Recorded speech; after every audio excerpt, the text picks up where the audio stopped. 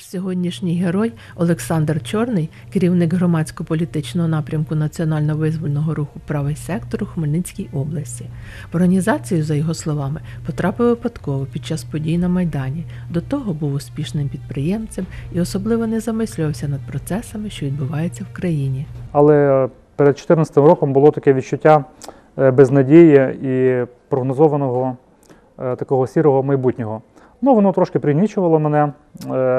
Шукали варіанти еміграції е, з України, е, е, різні варіанти розглядали. Дуже хотіли в Данію, пропонували Норвегію. Ми поки роздумували, готували документи, готували. От, а потім раз і вистрілив в Майдан. Попав на Майдан випадково, поїхав подивитися, що це таке. Відразу самоусвідомив себе українцем, побачив мотивованих хлопців, побачив мотивованих людей, про яких я знав, що вони є, але ніколи з ними не спілкувався і не бачив. Ну, Таким чином, е, вже в такому ну, е, досить е, зрілому віці е, попав в націоналістичний рух, е, який е, сформувався як потім національно-визвольний рух правий сектор. Брав участь у подіях на Сході, е, не так багато, як деякі мої товариші і побратими.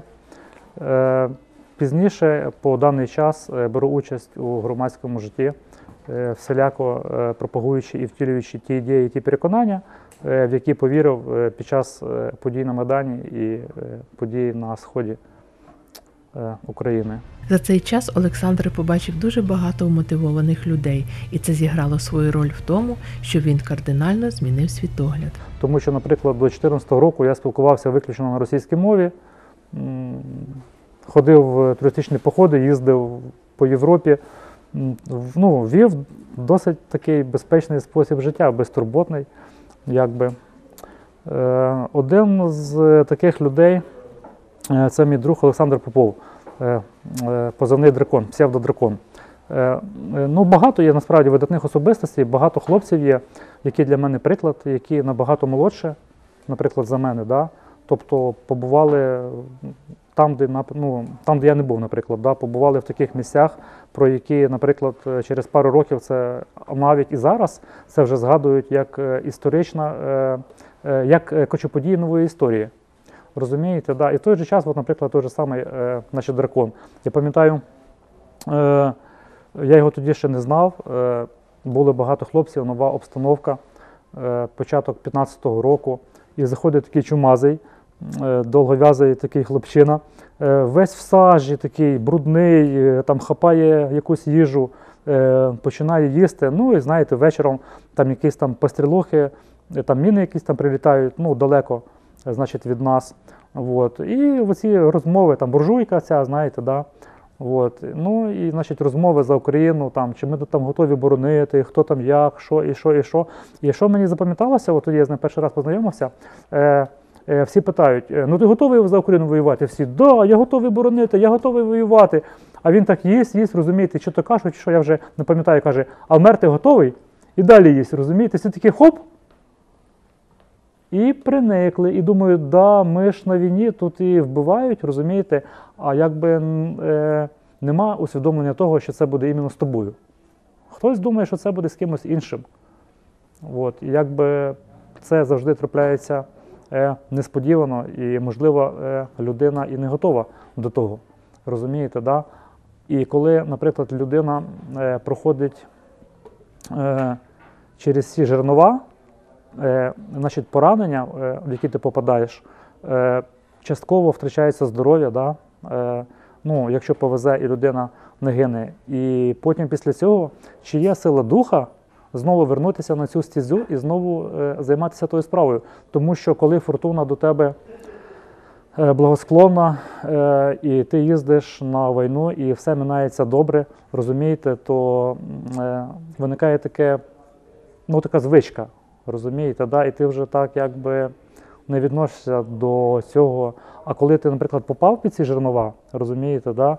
тебе збив цей поїзд, і ти потім оговтався від того, ну, значить, частково, От, що в фізичному плані, що в емоційному, і знову піти.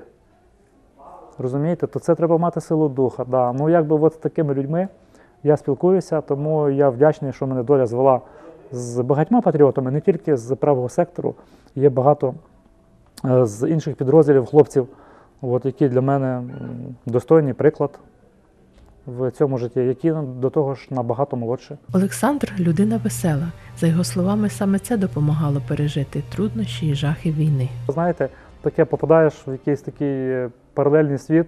Ну, це кожний, ну, кожна людина, я так думаю. Перший раз, там, де ходять е, антиподи, думаєш, боже, куди я попав, що я тут роблю? Десь там, пам'ятаю, випала міна, я був в туалеті, туалет нахилився, я рукою впираюся в дверку, дверка заклинює в землю. Я біжу з того в туалет, падає міна, якась там земля сипеться, я думаю, боже, що це, де? Що я тут роблю? Знаєте, таке.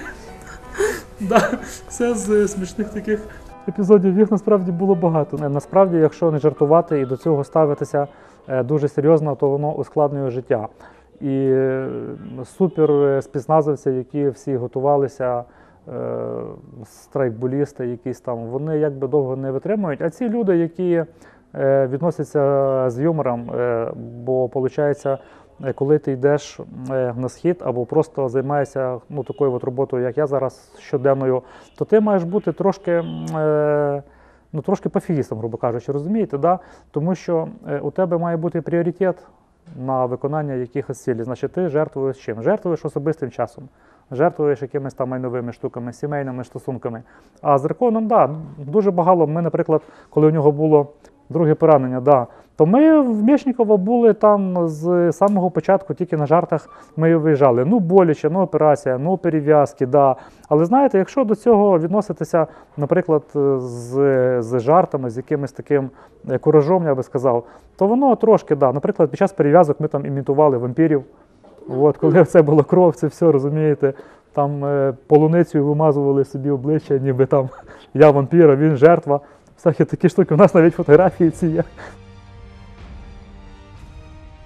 Хоча е, насправді, е, якщо взяти, наприклад, ну, ми звикли за кочевіну да, от, розмовляти, то на війні я себе ніколи не відчував таким здоровим, як на війні, серйозно. От я там і не був довго, я був раз, два, три. Ну, не по, е, ну, е, по термінах не дуже тривалі терміни. Е, Попадаючи туди, у тебе включаються резервні сили в організмі, е, ніби в тебе нічого не болить, серйозно. Повна антисанітарія, е, їжа будь-яка, е, зима холод. Ну, холод ну, таки дав, бо простудив собі там і суглоби, і м'язи, ну це таке. Вот. Но зато людина в той час там не хворіє. Людина там не хворіє, шлунок працює, там відмінно, ніяка хвороба тебе зараза не бере. Тобто це такий феномен, да, настільки мобілізується. На жаль, трагічних та драматичних випадків на війні набагато більше, ніж веселих. Виходили ми в значить, розвідку, шукали е, наводчика, е, коректувальника. От, і це, е, ну, от я зараз розкажу дві історії, да, вони якби е, різні, але їх об'єднує такий е, драматизм, який я от побачив, е, ну, не кіношний драматизм, а достойний якогось там е, сюжета. Е, ну, наприклад, розумієте, е, ми обходили хати. Хати е, розбиті, деякі цілі. Е, от. Це було в е, Донецька область між такими населеними пунктами, як Сєверне, е, Тоненьке е, в цих районах. Так. Е, Покинуті будівлі, е, і от ти йдеш і дивишся. Е, Ну, а ми ж робили, відпрацьовували по хатах, по подвір'ях.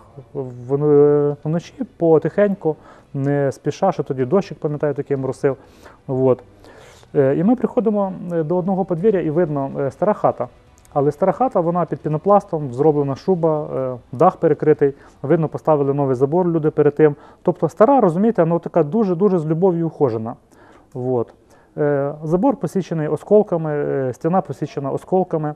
От. Ну, ми подивилися, значить, коротше, поріг і підвіконня слой бруду і пилюки. Ну, давно нікого не було. Ознак присутності, значить, нема смисла заходити. Подивилися, ага, колодка на дверях є. Посвітимо, що робиться всередині ліхтарями.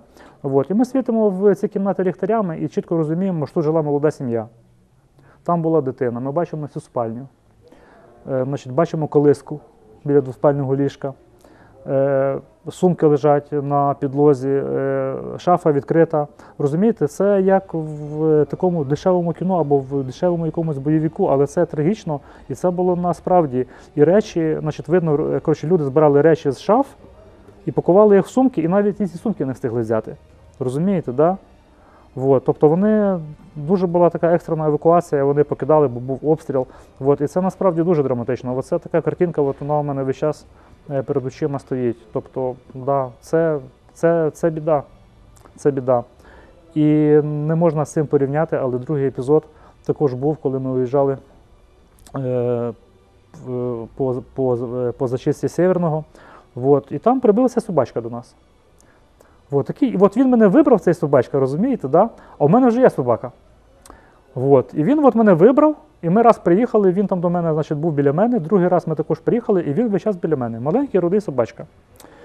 Весь час, весь час, весь час, весь час. І мені було його так жалко. Ми там привозили якісь е, там продукти мешканцям. Я вже йому там якусь там банку відкрив, ще там щось дав.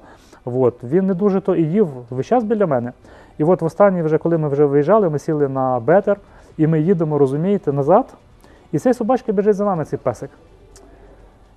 Йолки-палки, я отак от ззаді їду. Коротше, не знаю, що мені робити. Що, ну, куди гукати, що? Це ж типа, ну, типа відхід, розумієте? Не може там колона з, е, коротше, зупинитися для того, що вдруг я, грубий, захотів взяти там якогось песика з собою. І він все далі, далі видихається, видихається, видихається. Бачу, зрізає, значить, е, коротше, кут по нашій дорозі на перейми. Все одно Е, коротше, Бетер поїхав значить, швидше. Блін, і так він сів, от, такий захеканий, і я їду, і він такий менше, менше, менше, менше, менше. І я потім так, я жалів, що я його не взяв. Приходжу до дивника, е, значить, кажу, дружині, от у мене був такий, вона каже, чого ж ти не брав його, треба було забрати.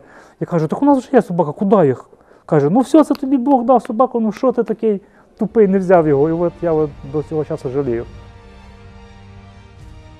Турбує Олександра й те, що віддаючи всі сили і час організації, він залишає поза увагою своїх рідних. Саме велика трагедія це те, що е, час йде, а ти в, часу обмежений і чітко усвідомлюєш, що ти, наприклад, сьогодні не погуляв е, з рідними, не провідав батька, не провідав маму, не провідав там родичів далеких, не поспілкувався з, з друзями. Е, Получається, і коло друзів також обмежилось, розумієте, да? От, вони, е, значить, коло друзів стало більш таке, як би сказав, не, не, не професійне, а е, окреслено певними кордонами. Розумієте, да?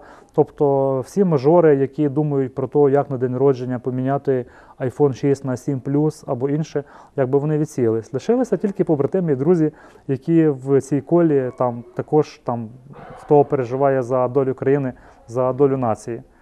Ну, так. Тобто, це я от розумію, що мої батьки якби старіють, а я не можу приділити до ну, типу, е, належної уваги. Да, це трагедія, яку приноситься нести жертви, але ну, е, хтось е, отримує поранення. Розумієте, хтось гине. Е, чиясь жінка втрачає чоловіка. Тобто кожен несе свою жертву. Я таку.